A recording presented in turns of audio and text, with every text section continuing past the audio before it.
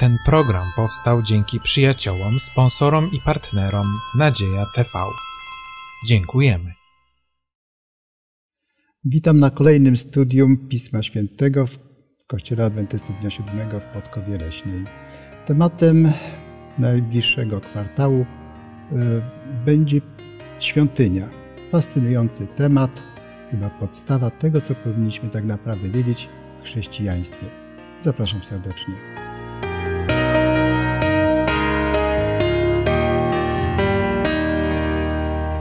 Dzisiejszym studium udział biorą Janusz, Maria, Mieczysław i ja, Waldemar. Zapraszam do modlitwy. Proszę Ciebie, Mario. Panie Boże, Ojcze nasz ukochany, który mieszkasz na wysokim niebie, zgromadziliśmy się dzisiaj tutaj w Twoim imieniu, ażeby uczcić Ciebie poprzez studium Słowa Twojego. Dziękujemy Ci, Panie, że mamy ten przywilej studiowania Twojego, Twoich nauk i prosimy Cię o moc Ducha Twego Świętego, ażeby rozjaśniał nasze umysły, ażeby otwierał serca nas, jak również tych, którzy będą nas słuchali. Pobłogosław to studium w imieniu Pana naszego Jezusa Chrystusa prosimy o to. Amen. Amen. Rzeczywiście bardziej niż kiedykolwiek może przy studium e, tego Pisma Świętego potrzebny jest Duch Święty. Chociażby dlatego, że temat świątyni był poważnie zaniedbany w chrześcijaństwie przez wiele wieków. To dopiero XIX-wieczne badania Pisma Świętego i to zasługę największą w tym pokładają właśnie adwentyści, e, zaczęły objawiać istotę e, zbawienia, która została ukazana w świątyni już starożytnej w Izraelu. E, chciałbym może wspomnieć nieco na temat tej świątyni, którą zbudował Mojżesz. Co możemy o niej powiedzieć? No, była to świątynia, którą Pan kazał mu zbudować według wzoru, jaki mu pokazał w niebie.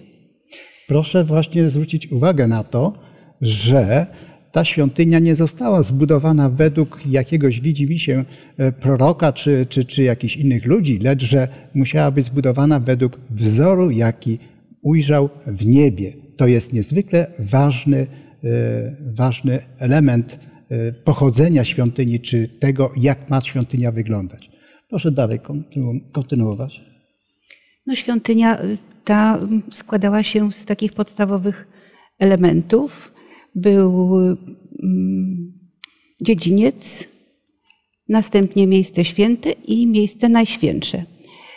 Jest w psalmie powiedziane, Panie, droga Twoja jest w świątyni, droga zbawienia. Te elementy miały właśnie wskazywać na służbę kapłanów i były miejscem, gdzie człowiek mógł przyjść i oczyścić się ze swoich przewinień, swoich grzechów. Ważne to jest, że miała swój pewien plan architektoniczny. To okazuje się, że było bardzo ważne. To jedna rzecz. Druga rzecz, czemu miała służyć ta świątynia? Miała służyć pewnemu określonemu celowi. Miała przedstawić Boży plan względem ludzkości, plan zbawienia.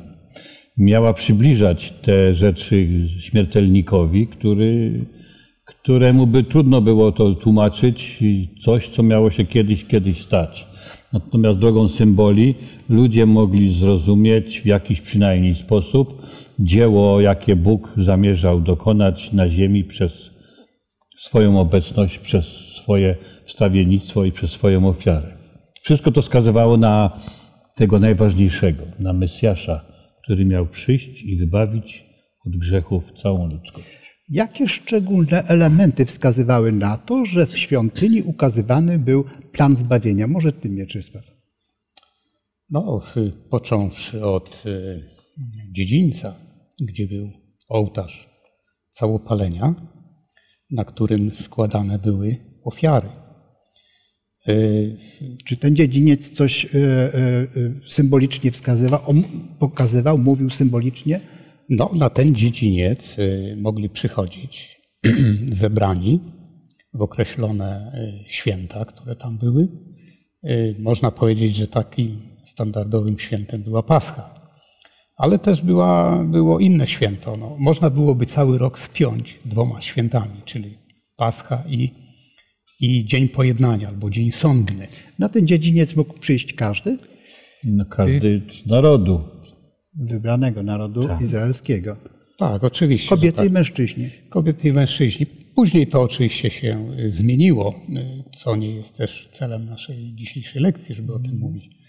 Ale y, to wszystko wskazywało symbolicznie na pewien akt zbawienia, który Bóg Ojciec nam wyjednał w Jezusie Chrystusie, posyłając Go. Następnie mamy miejsce święte, gdzie po prawej stronie, a więc od y, strony północnej, jest y, stół z chlebami pokładnymi, dwunastoma chlebami pokładnymi. Y, Na południu świątyni mamy świecznik siedmioramienny. No i obok niego mamy ołtarz kadzenia. Następnie zasłona oddzielająca miejsce święte od najświętszego. No i później mamy w miejscu najświętszym, gdzie raz w roku tylko arcykapłan mógł tam wchodzić. W miejscu najświętszym znajdowała się właśnie arka przymierza, w której były y, dziesięć przykazań, czyli dwie tablice kamienne z dziesięcioma przykazaniami. No, w, w, w, na początku był dzban z manną, prawda?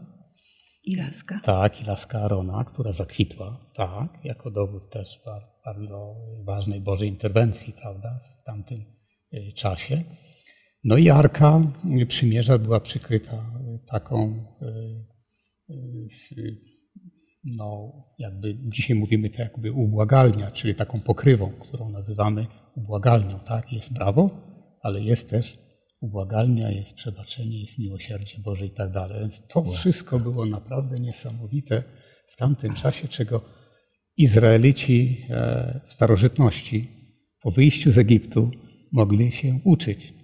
Tu trzeba byłoby wspomnieć, e, że ten e, namiot, prawda, tak zwany Ochel Moed po hebrajsku, to był namiot przenośny, akurat przystosowany do podróży, prawda, Izraelitów po, po pustyni. I to było nie, niesamowite doświadczenie w tej podróży, żeby ten Izrael mógł poznawać Co Boga. charakteryzowało y, szczególnego, szczególnie tę świątynię y, namiotową, przenośną?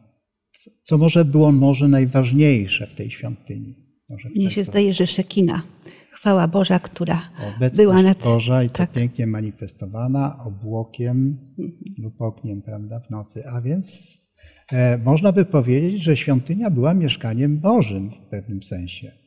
Potem świątynię zbudowano w trwalszy sposób. e, Król Salomon ją zbudował, m, e, a ostatecznie zostaje zburzona w 70 roku naszej ery. E, Rzymianie ją zburzyli i od tego czasu nie mamy e, ani w Izraelu, ani nigdzie indziej świątyni tego typu. Dlaczego jej nie mamy, albo czy powinniśmy w ogóle mieć?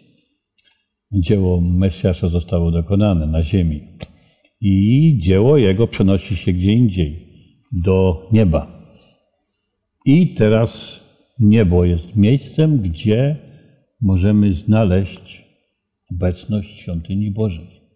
To jest ciekawe, bo na ogół niebo nam się kojarzy z czymś dobrym, tam gdzie mieszka sprawiedliwość, łaska, dobroć, ład cały, harmonia.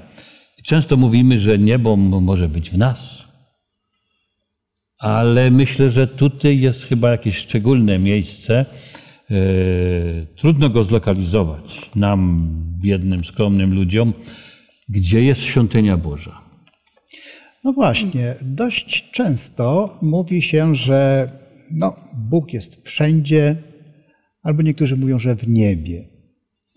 Więc w końcu gdzie jest? Tu czy tam? Czy może jeszcze inaczej? No Bóg jest wszechpotężny, wszechobecny, wszystko mogący, więc jest wszędzie. Mówi Izajasz, Jeremiasz mówi i Psalm mówi, czy jesteś blisko, Panie?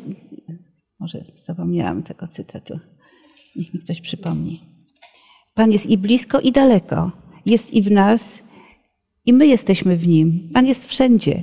Jest y, w sercu, które uczynił naszą świątynią, jeżeli go przyjmujemy i jest nasze serce czyste. I jest również, również w niebie, ale to, że jest w niebie, to jest szczególna sprawa. Słuchajcie, słyszałam taką rzecz, właściwie to obejrzałam film, może chwilkę powiem na ten temat, że zastanawiam się, gdzie jest tron Boży. A okazuje się, że badanie bardzo szczegółowe teleskopem Hubble'a, zdjęcie robione w ciągu 11 milionów sekund, razem 11, w ciągu miliona sekund, czyli jednego miliona, przepraszam, No nieważne. Matematyka tu nie 11, 11, w ciągu 11 dni. Zdjęcie to wykazuje, że galaktyki są bardzo zagęszczone na obrzeżach widzial, widzialnego kręgu, tam gdzie są widzialne. Tam jest bardzo duże zagęszczenie tych galaktyk. I to nasunęło naukowcom, astronomom wniosek, że jest jakieś centrum, że jest centrum wszechświata. I dokładniejsze badania, gdzie już jest i astronomia, i fizyka, ja nie powiem szczegółów, ale od, y, zaproponuję właśnie obejrzenie filmu Wielki Biały Tron. Na ten temat mówi. Rzeczywiście widać, że od centrum promieniście rozchodzą się y, różnego rodzaju galaktyki. I to centrum podobno jest gdzieś niedaleko nas. Zaczyna się je lokalizować, jak gdyby może No, to może Jako Orion. wybierzemy? prawdopodobnie jest to niedaleko? możliwe. Tak. Dobrze, do tego taka może jeszcze szansa. kiedyś wrócimy.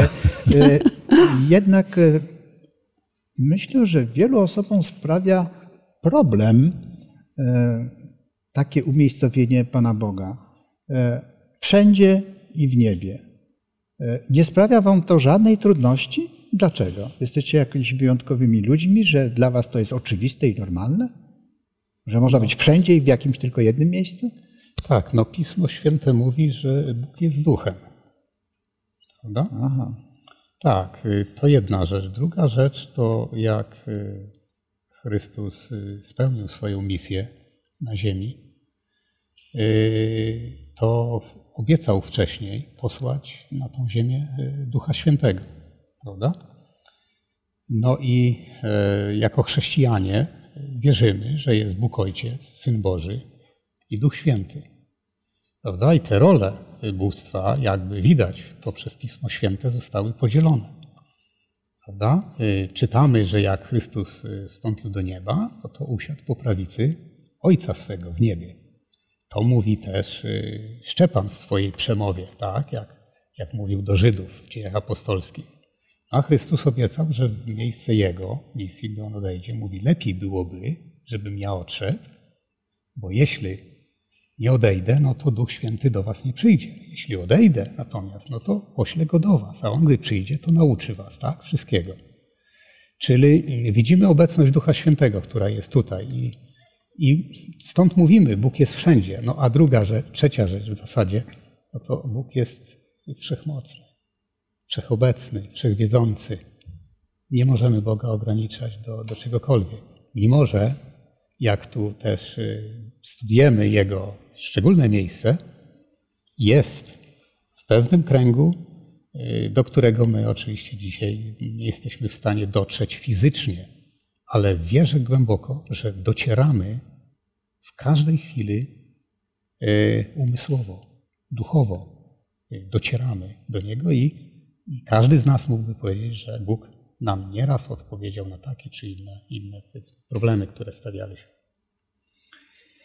Kiedy zawierane było przymierze z Bogiem, mm, e, to padły różne słowa, e, które e, zobowiązywały wzajemnie do pewnego oddziaływania. I tak e, w pierwszej księdze królewskiej, mm, e, w ósmym rozdziale i w 49 wersecie czytamy: Ty racz wysłuchać w niebie, w miejscu, gdzie mieszkasz, ich modlitwy i błagania i uznać ich prawo.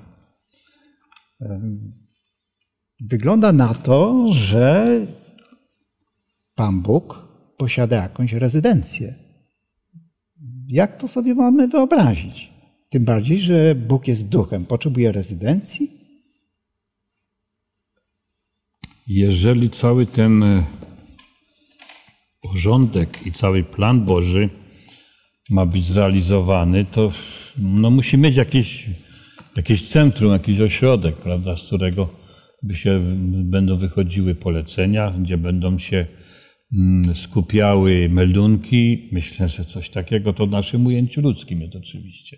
Być może, że Bóg nie potrzebuje żadnego centrum i to centrum potrafi mieć wszędzie. Ale jeżeli jest mowa o tym w wielu miejscach w Piśmie Świętym, że takie miejsce jest, że takie miejsce w jakiś sposób sobie wyobrażali prorocy Boży, którym zostało to pokazane, no to coś w tym musi być. Dla mnie są e, bardzo istotne, ja zwróciłem uwagę na takie teksty, gdzie mowa jest, że tam w tym miejscu, gdzie Bóg króluje, gdzie jest Jego tron, gdzie jest ta Jego rezydencja, czy ten pałac, jakbyśmy to nazwali, mm, dużo jest miejsca i czasu przeznaczonego na śpiew i na muzykę. Tam są śpiewacy, tam są instrumenty, tam jest melodia. No dobrze, czy my musimy sobie w naszych głowach wyobrażać, że jest to jakaś rezydencja, jakiś tron i coś tam jeszcze jest, czy też są opisy tego, tej rezydencji? Czy w Piśmie Świętym mamy podstawy i dowody sądzić, że jest takie miejsce? No, prorocy mieli wizję nieba. Daniel, Izajasz, y, Jeremiasz, y, Izajasz na przykład. y, Jan Dawid. Dawid tak też. Izajasz na przykład mówi w, w roku śmierci, szósty rozdział Księgi Izajasza, pierwszy werset i drugi do trzeciego chyba. Śmierci Uzajasza, w roku śmierci króla Uzajasza widziałem Pana siedzącego na tronie wysokim i wyniosłym, a kraj jego szaty wypełniał świątynię. Jego orszak stanowiły serafy, z których każdy miał po sześć skrzydeł, dwoma zakrywał swoją twarz, dwoma zakrywał swoje nogi i na dwóch latał. I wołał jeden do drugiego: Święty, święty, święty jest Pan zastępów. Pełna jest wszystka ziemia chwały Jego. No niesamowity obraz, trudno sobie właściwie to wyobrazić, ale to nie tylko Izajasz tak widział Pana. Mamy obraz świątyni w Księdze Objawienia. Także samo. A ja szczególnie sobie upodobałem e, relację Dawida. E, Dawid, Boże, też był prorokiem, ale mi bardziej się zawsze Dawid kojarzy z poetą. E, Człowiekiem, No, poetą. który, który ma duszę taką otwartą na, na artystyczne jakieś doznania, który artyści lepiej odczuwać potrafią takie rzeczy, myślę, i w jakiś sposób je opisywać. I właśnie Dawid w 47 psalmie między innymi mówi tak, wybrał na dziedzictwo nasze chlubem Jakuba, którego miłuje. Występuje Bóg wśród radosnych okrzyków, Pan przy odgłosie trąb. Grajcie Bogu, grajcie, grajcie królowi naszemu, grajcie. Bóg bowiem jest królem całej ziemi, śpiewajcie pieśń. Bóg jest królem nad narodami, Bóg siedzi na swym tronie świętym. Właśnie pełno tutaj muzyki, o której wspominałem wcześniej. I u Dawida w psalmu, jakbyśmy poczytali, to byśmy takich opisów potrafili znaleźć jeszcze sporo gdzie on właśnie w jakiś sposób taki bliski mu opisuje to miejsce. Mi też jakoś też jak lubię śpiewać, dlatego tak na to zwracam uwagę i, i dla mnie jest największą radością, że będę mógł w niebie śpiewać bez końca. O. E, Bóg e, w tym, co czytałeś, jest przedstawiony jako król, władca, władca całej ziemi, całego wszechświata. E, Więc, prawdę mówiąc, trudno, żeby nie posiadał jakiejś rezydencji, żeby nie posiadał sali tronowej, tej właśnie świątyni. Świątynia pełni w niebie jakby rolę mm, e, właśnie sali tronowej. Tam przyjmuje prawdopodobnie e, różnych posłańców, wydaje prawdopodobnie polecenia. E, Także e, tam, jak czytamy, jak widzimy, przyjmuje albo e, realizuje wizję dla proroków. Bo prorocy jak gdyby widzą to, są tam, prawda? Ja podejrzewam, że w takim momencie, w tym momencie, oprócz Boga, są i pozostałe osoby, które biorą udział w tym obrazie wizyjnym, prawda? Ale ciekawa jestem, czy można by się dostać tak na audiencję przed tron Boży, gdyby Bóg tylko siedział na tronie. Kolejka byłaby dosyć duża. Chyba tak. Ale mówiąc o tej sali tronowej, o której już tutaj y, wspomniałeś, to rzeczywiście to jest y, taka ciekawa rzecz, bo y, wszelkie opisy w Piśmie Świętym są podane na sposób takiego zrozumienia ludzkiego. No, co by było, gdyby Bóg to za, za, zapisał w sposób dla Niego? właściwy. No, my byśmy tego nie pojęli, a jednak tekst mówi wyraźnie, że jest sala tronowa, jest tron i tam pojawiają się przy okazji tronu, sali tronowej, że on zakrólował albo jest królem. Królem nad narodami, tak? A więc to w ogóle jest zbliżone wszystko do, do tego, co się dzieje też jakby na ziemi, bo y, trzeba byłoby się cofnąć do początku. Bóg stworzył człowieka na obraz i podobieństwo swoje prawda? Ale w czym? No, w, w, nie w sensie fizycznym, jak wyglądamy, ale w sensie y, pojmowania pewnych rzeczy. E, stworzył człowieka. Czyli byśmy tak pojmowali pewne rzeczy, tak rozumieli pewne rzeczy, jak on e, widzi. Tam jest to hebrajskie słowo celem, które właśnie dotyczy nie fizycznej sfery, ale sfery intelektualnej, umysłowej, y, pojęcia charakteru Bożego i tak dalej. Do tego tu Bóg mówi, że na podobieństwo ja was stworzyłem. No i teraz ludzie, gdy rozeszli się po ziemi, no to co? Utworzyli też swoje zasięgi działania, królestwa, prawda, y, ośrodki decydowania, to co też mówiliśmy na początku, prawda?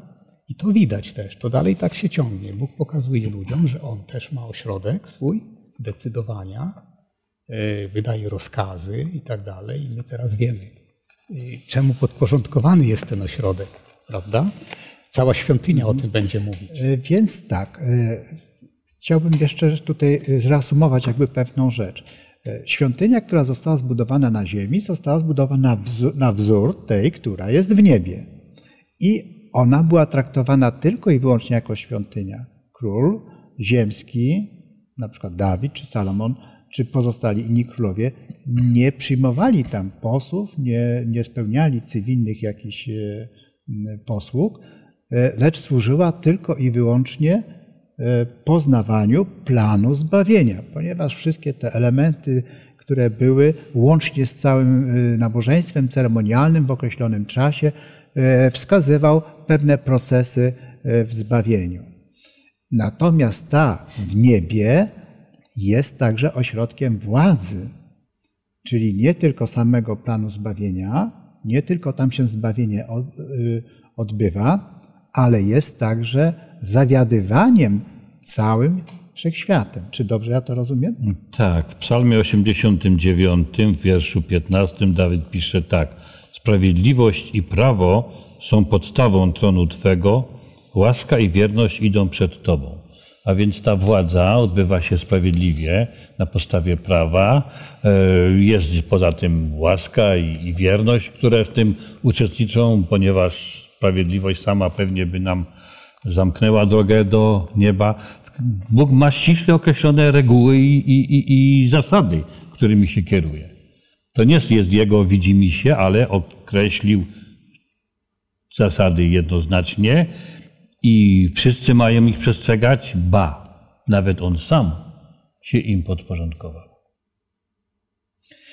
Przyszła taka myśl, że być może ta świątynia, która została ukazana e, i budowniczowi e, Mojżeszowi, czy powiedzmy później prokom innym, że może jest jedynie jakąś taką wirtualną wizualizacją e, tej świątyni, gdy tymczasem może wcale nią nie jest.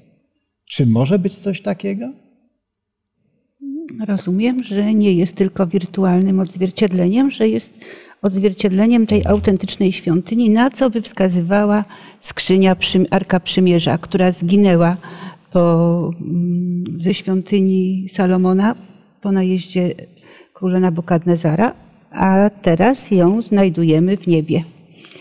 I arka, wydaje mi się, będzie takim wskaźnikiem, ponieważ jest tam prawo, dekalog, dziesięcioro przykazań palcem Bożym zapisanych, więc y, to u Janowi się ukazała świątynia Boża i Arka Przymierza. I to jest bardzo wymowna, wymowne na czasy właśnie ostateczne. No, prawdopodobnie chyba masz rację, ponieważ prorocy wymieniają jeszcze inne rzeczy, które widzieli. A to, że drzwi się otwierają. No, gdyby to była świątynia, która tylko jest miejscem jakimś, a nie potrzebuje drzwi, no to by przecież tych drzwi tam nie było potrzeba, bo po co by te drzwi tam miały być? A jednak prorok widzi te drzwi, czyli one nie. Coś musi być zamknięte, coś trzeba otworzyć. Tak, no, Ale też symbol, ja jestem drzwiami, mówi E, Jezus. No właśnie, więc te symbole także są jak gdyby czymś rzeczywistym, czyli autentycznie w niebie ta świątynia jest. Czyli nie możemy powiedzieć sobie, że to tylko jakieś wyobrażenie, że na potrzeby może proroków taka wizualizacja. Nie, jest rzeczywista. No, przynajmniej z opisów w Piśmie Świętym wynika, że tak jest, łącznie z detalami różnymi, które możemy e, odczytać w niektórych objawieniach. Tu możemy się jeszcze zastanowić troszeczkę nad tym. Trudno byłoby oczekiwać, żeby w niebie stała budowla świątyni takiej, jaką dzisiaj gdzieś widzimy. Albo taką, taka budowla, jaką zbudował Salomon. Albo później e, budowla taka, którą e, zbudowano po, po okresie wy- wygnaniowym, czyli gorsza jakaś powiedzmy wizualnie, ale Herod ją jeszcze rozbudował, nie? No to była piękniejsza. Trudno byłoby oczekiwać w niebie takiej świątyni, skoro y, teksty Pisma Świętego mówią, że, że świątynią Ducha Świętego kto jest? Są i ludzie. Jest Pan Bóg świątynią też. No myślę, że też y, wiele tych istot, które nie zgrzeszyły, które są w otoczeniu Boga, mogą tworzyć tą wspaniałą, świętą świątynię, nieskalaną grzechem. Właśnie, gdzie Bóg jest centrum, powiedzmy, tego całego układu. Tak. Dobrze. mm, e, Skąd wiemy, gdzie jest teraz Pan Jezus? No mamy piękny tekst z Apokalipsy, pierwszy rozdział. Dokładnie o to chodzi. Prawda? Pierwszy rozdział od 12 wiersza i dalej. Można go I przeczytać. będzie ten tekst. kilka. Bardzo proszę. Tak, właśnie. to jest bardzo, bardzo piękny tekst, który mówi tak. E, I obróciłem się, tu Jan mówi tak, i obróciłem się, aby zobaczyć, co to za głos, który mówił do mnie. A gdy się obróciłem, ujrzałem siedem złotych świeczników, a pośród tych świeczników kogoś podobnego do Syna Człowieczego, odzianego w szatę do stóp długą i przepasanego przez pierś złotym pasem. Głowa zaś jego i włosy były lśniące jak śnieżno-biała wełna, a oczy jego jak płomień ognisty, a nogi jego podobne do mosiądzu w piecu rozżarzonego. Głos zaś jego jakby szum wielu wód. W prawej dłoni swej trzymał siedem gwiazd, a z ust jego wychodził obosieczny, ostry miecz, a oblicze jego jaśniało jak słońce w pełnym swoim blasku. To też, gdy go ujrzałem, padłem do nóg jego, jakby umarły, on zaś położył na mnie swoją prawicę i rzekł, nie lękaj się, jam jest pierwszy i ostatni i żyjący. Byłem umarły, lecz oto żyję na wieki wieków i mam klucze śmierci i piekła. Napisz więc, co widziałeś i co jest, i co się stanie potem. A ja mam jeszcze kolejny tekst z piątego rozdziału Apokalipsy O, szósty. a propos piątego rozdziału, zobaczmy. E, Wstęp tylko drobny. Jak jest świątynia, to co w świątyni powinno się odbywać? I widziałem, Nabożeństwo. Nabożeństwo. Piąty rozdział jest właśnie e, opisem pewnego nabożeństwa. Proszę cię. I widziałem pośrodku między tronem a czterema postaciami i pośród starców stojącego baranka jakby zabitego, który miał siedem rogów i siedmioro oczu, a to jest siedem duchów bożych zesłanych na całą ziemię. I przystąpił i wziął księgę z prawej ręki tego, który siedział na tronie. I gdy ją wziął, upadły przed barankiem cztery postaci i dwudziestu czterech starców, a każdy miał harfę i złotą czaszę pełną wonności. Są to modlitwy świętych. I zaśpiewali nową pieśń tej treści. Godzien jesteś. E, Co nam tutaj wskazuje na Pana Jezusa? Baranek. Baranek. Popatrzmy jeszcze bardzo ważną rzecz. Izraelici przez wieki składali baranki na ofiarę. Czy te baranki mogły zgładzić jakieś grzechy? Nie, tylko był jeden baranek. Czym wobec były te ofiary? Symbolem. Symbolem na Pana Jezusa, na baranka, który gładzi autentycznie grzechy. Ten naprawdę gładzi grzechy. Więc świątynia e, ziemska była zapowiedzią tego, co się będzie działo, było pokazaniem dziejami grzechu, co się z nimi dzieje. Skończył się pewien etap i czy ta świątynia właśnie jest pytanie teraz, nadal pełni jakąś funkcję, czy tylko sobie jest taką jakąś świątynią już, e, bo Pan Jezus już wypełnił e, pewne dzieło na ziemi, czy zatem już ona jest niepotrzebna, albo jeżeli jest potrzebna, to w takim razie do czego? No właśnie to wejście Pana Jezusa za zasłonę do miejsca Najświętszego w roku 844 zapoczątkowało bardzo ważną rzecz w dziejach zbawienia, w planie zbawienia, mianowicie sąd. I Pan Jezus, będąc tam za tą zasłoną, zasiadł sąd i księgi zostały otwarte, jest w księdze Daniela powiedziane. Są tej, jest to sąd przedadwentowy, kiedy są weryfikowane losy każdego z dawno żyjących, z żyjących, z tych, którzy są, ażeby gdy Pan Jezus powróci, było już oczywiste, którzy są przeznaczeni do zmartwychwstania. A więc odkrywamy kolejną funkcję świątyni, a więc na początku mieliśmy przebłaganie za grzechy. Mówił e, Czesław o tej ubłagalni, prawda, w ziemskiej świątyni i tak dalej. Potem wiemy, że Arka jest w niebie e, i spełniała funkcję władzy, prawda, czyli tronowa sala jest i tak dalej, prawda, w tej świątyni jednocześnie. Teraz mamy jeszcze funkcję sądu, czyli tam się odbywa również sąd. Czy w tej ziemskiej świątyni też były, był rodzaj sądu w świątyni odprawiany? Tak, był rodzaj sądu. E, Raz w roku, jakby rok e, powiedzmy liturgiczny czy świątynny, bo był i rok cywilny, mhm. zaczynał się od e, września, października do sierpnia, września, i był rok świątynny, który się zaczynał powiedzmy od marzec, kwiecień do powiedzmy naokoło, więc ten rok świątynny pokazywał, że raz w roku był tak zwany, było takie święto, dzień sądny, prawda, czy dzień pojednania.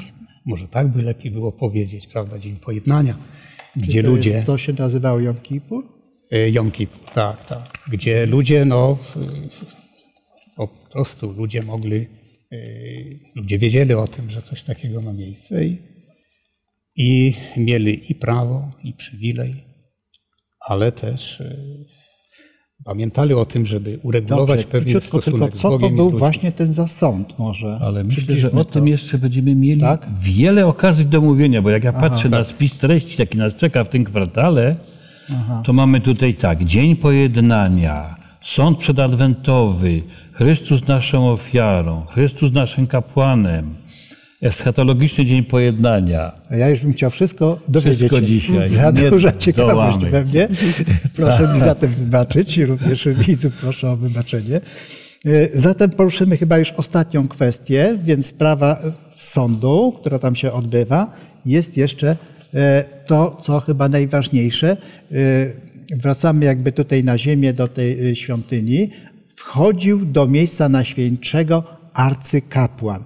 Jeden, sam jeden tam wchodził, prawda? I tą rolę teraz ktoś spełnia w niebie? Pan mhm. Jezus. Czyli... Swoją własną krwią. I to jest coś chyba najważniejszego. Dlaczego dla nas ważne jest uświadomienie sobie tej prawdy o świątyni w niebie i o tym, że tam się spełniają określone wydarzenia? wydarzenia? Od tego zależy wszystko nas nasza przyszłość, nasze zbawienie. Gdyby nie było tego miejsca, gdyby Jezus nie zrobił tego, no to po co by nasza wiara była, po co nasze oczekiwanie, nasza, daremna nasza nadzieja? To jest najważniejsze. No tak, ale niektórzy mówią, no Pan Jezus umarł za nasze grzechy dwa tysiące lat temu, e, dokonało się zbawienie, no i co to resztę, wszystko ma jakieś jeszcze znaczenie? Tak, i ty, że to wystarczy. No właśnie. Prawda? Albo raz zbawiony, na zawsze zbawiony. Ale to nie wystarczy. A to, a to tak nie jest, bo życie nasze, życie ludzkie przynosi e, różne zdarzenia. I pokolenia odchodzą i przychodzą. i spotykają się z tym samym, czyli z grzechem na tej ziemi, z upadkiem, prawda, z problemami, które się nasilają. No i pytanie, gdzie pójdziemy z tym? Możemy pójść do ludzi, którzy też mogą nam pomóc, ale nie zawsze tak jest. Ale w swojej, powiedzmy, umysłowej strukturze, jak człowiek myśli, czy, czy słabnie, czy jest zniechęcony, to zawsze mu jest lepiej i pewniej pójść do Boga. Wszystko zawodzi, ale tam możemy się udać, prawda? Do tej świątyni, gdzie e, Jezus Chrystus pełni swą służbę pośredniczą. Biblia mówi, e, że Jezus jest pośrednikiem, nie ma innego człowieka, który by pośredniczył między człowiekiem a człowiekiem. Chrystus jest tym pośrednikiem. On jest po prawicy Ojca swego, On wstawia się za nami. On dalej pełni funkcje zbawienne, tylko nie poprzez ofiary, baranki, kozły, cielce, ale On tą ofiarą ostatecznie był, przyszedł, zbawił, przelał swą krew i dzisiaj dzięki temu mamy odpocznienie w Nim, zbawienie. Jedyne co, to musimy to przyjąć, bo z łaski zbawieni jesteście. Boży to dar. Okej. Okay. Zatem to, co w tej chwili się dowiadujemy, to to, że w niebiańskiej świątyni odbywa się niezwykle ważny proces sądowy, który dotyczy nas, ludzi. Tak. To jest arcyciekawe. Jestem bardzo zainteresowany dowiedzieć się więcej szczegółów o tym sądzie, jak ja jestem postrzegany, jak ja jestem sądzony, jakiego mam prawnika, kto jest oskarżycielem, jak ja z tego wszystkiego wyjdę i czy ja mogę wiedzieć wszystko, co potrzeba na ten temat. To jest fascynujący temat. Zapraszam więc e, do przyszłego studium, następnej lekcji, ponieważ naprawdę jest o czym e, studiować i dowiadywać się. Zapraszam wszystkich. Teraz chciałbym zakończyć nasze studium modlitwą. Proszę Cię w imię drogi Wszechmogący Ojcze, Boże nasz, który mieszkasz w niebie, w miejscu, o którym czytamy, do Ciebie przychodzimy teraz i dziękujemy, że mamy Słowo Twoje, że mamy objaśnione te rzeczy, które są dla nas potrzebne i że dzięki Tobie możemy żyć na tej ziemi, cieszyć się, radować z Twojej obecności.